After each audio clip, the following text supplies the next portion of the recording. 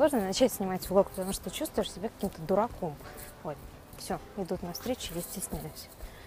Я бегу на встречу с молодым человеком, с, с будущим мужем, пожалуйста.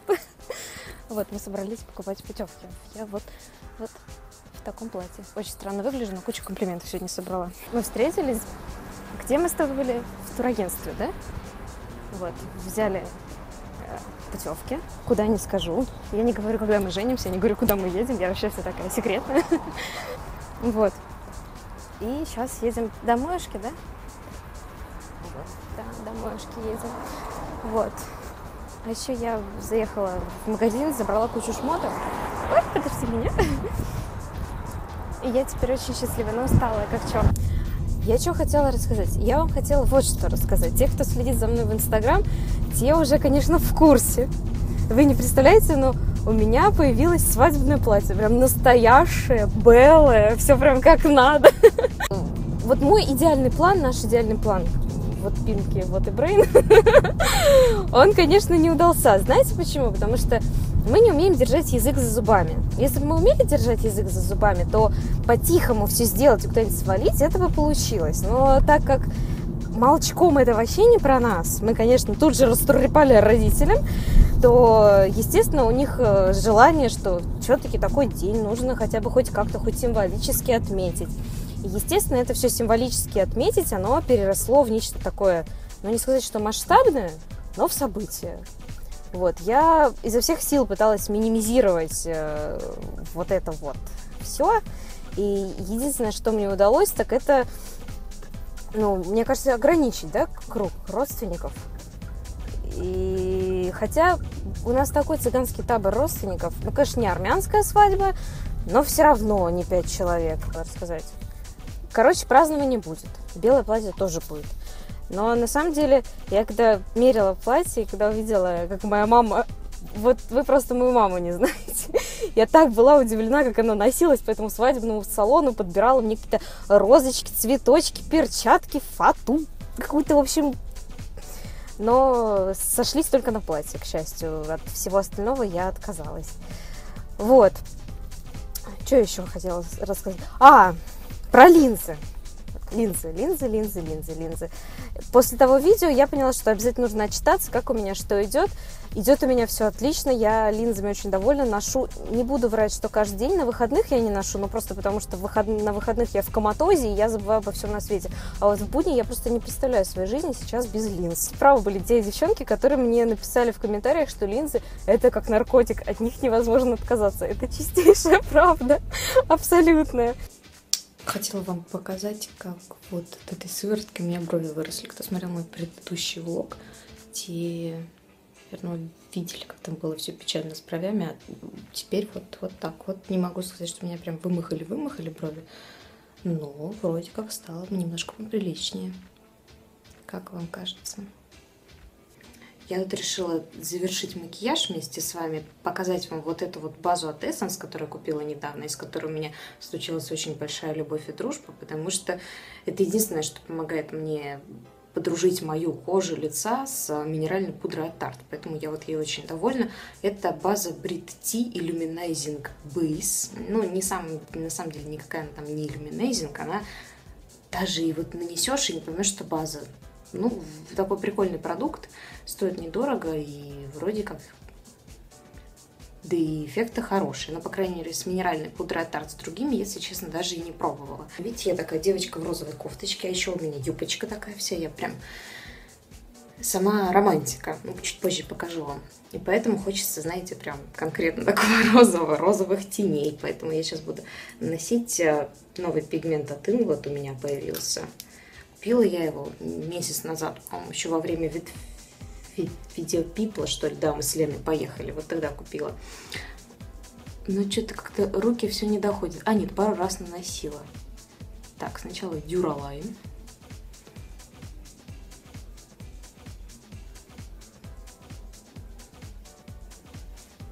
Кстати, пробовала я Дюралайн использовать как базу для сухих теней. Вот вообще не мой вариант. Категорически. Но пигменты вообще отлично.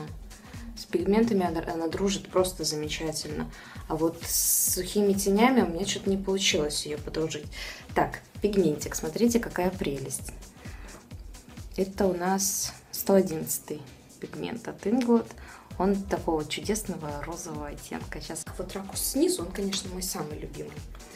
Кисть у меня от Валери Д. Я уже рассказывала вам о кистях Валери Д. Посмотрите видео, если кто-то просмотрел, не видел. Люблю я эти кисти. Чуть на кисть, потом это все в крышечку и немножко втоптать в кисть. Пигмент такой сыпучий. Видите? Основную массу пигмента я всегда наношу на середину века, а остальное уже просто распределяю по нему. Будет просто пигмент солода и все, потому что на самом деле пигмент, вот эти вот все пигменты днем, они довольно яркие, и делать еще что-то, там какие-то складки выделять, ну, чуть-чуть я его просто растушую по всему веку, и все, чтобы он не смотрелся так единообразно.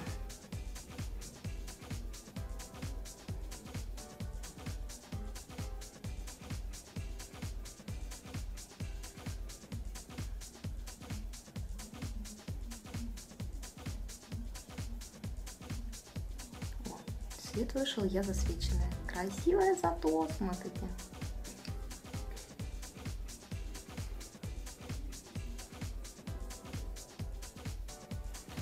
все, все, теперь только тушь. И я пошла. Вся такая красивая. Вот. Красота. Сейчас мы еще с вами на дневной свет выйдем на улицу. Я думаю, там получше будет видно. В общем, ну прям, по-моему, очень красиво. Летом самый раз то, что нужно. Еще знаете, что поняла? Что ничто так не завершает образ, как парфюм вот такая прописная истина до меня дошло вот, ну, буквально совсем недавно. И хочу вам сейчас рассказать про, свой, про свою новую любимочку. Это Серж Лютен. А, называется «Мускусный свет», по-моему, аромат. Я не буду коверкать французский, совершенно не мое. И я поняла, что так называемые белые мускусы это, вот это, в отличие от французского языка, это сто процентов мое. Это настолько красиво, это настолько потрясающе. Я вообще читала где-то в интернетах, что так называемые белые мускусы не слышат 90% людей. Интересно, это правда или это опять такое ля-ля-ля? Вот этот аромат для меня, это, знаете, маленькие новорожденные дети пахнут вот так вот. Я знаю, что это очень противоречивый аромат. Я читала отзывы на фрагрантике. Там пишут, там либо негатив, либо позитив. И это, конечно, ну, пугает, если честно, сначала. А потом, я когда попробовала его, я вслепую его не покупала, но когда я его протестировала в первый раз, я поняла, что это сто процентов мое. Но мускусы это вообще такое очень дело на грани всегда. Кто-то их ощущает кошачьими ветками, пардон, а на ком-то это что-то невероятно красивое. Я поняла, что в моем случае мускус это стопроцентное попадание и отвал башки, пардон. Я знаю, что вас уже бесит эта фраза, но я не могу ничего с этим поделать. Вот. Это вот аромат новорожденного ребенка, который, знаете, которого, который кушает только мамино молоко и пахнет так немножко по-молочному я не, знаю, как это писать. Это не какие-то не косметические кремы, это не пудровость, хотя чуть-чуть пудровости там есть, но для меня вообще ароматы Сержа, они очень цельнокроенные такие. Я не могу делить их по нотам. То есть сейчас я слышу там, не знаю, там перец, а потом я слышу еще что-то. Для меня это настолько всегда цельнокроенные ароматы, что я прям даже не могу выделить. Я могу рассказать о своих ощущениях, ассоциациях, насколько аромат для меня теплый, холодный или еще что-то, но начать вот членить его, мне кажется, это просто каким-то кощунством, если честно. И вот этот мускусный свет — это что-то невероятное для меня. У меня еще есть шелковый чулок, но вот на данный момент мускусный свет — это просто два башки, серьезно. Это настолько красиво, настолько хорошо. И он знаете, у него нет претензий на какую-то невероятную сексуальность. Нет, абсолютно нет. Он уютный, комфортный, он не шлифит, он очень близко к телу, но ты в нем чувствуешь себя очень женственно, причем так немножко по-детски женственно. В общем, попробуйте из крышечки с плоттера. Он звучит просто отвратительно честно вам скажу, ему нужна кожа. Вот, вот это сто процентов, только кожа. Если увидите, попробуйте. Я когда первый раз его увидела в Ривгош, я так открыла, сунула, какой, какой кошмар, и отставила тут же. И много подходов у меня было, и только вот совсем недавно до меня дошло, что надо попробовать нанести на кожу же. И вот с кожей это что-то просто потрясающее, серьезно вам говорю. Короче, муа. Так, как я выгляжу? Ать? Вот так вот. У меня последние три дня такое чувство, что на меня напали Валяевы и Турсунов и покусали меня, потому что я три дня хожу в каких-то очень женственных платьях, юбках. Но, конечно, за вчерашнее платье они бы меня покусали еще больше, потому что там была открытая спина, и я бы никогда не подумала, что открытая спина это может быть настолько сексуально. Вот. Короче, так, опять заболталась я. Побежала я, девчонки. Всем хорошего дня. До скорой встречи в новых видео. Пока-пока.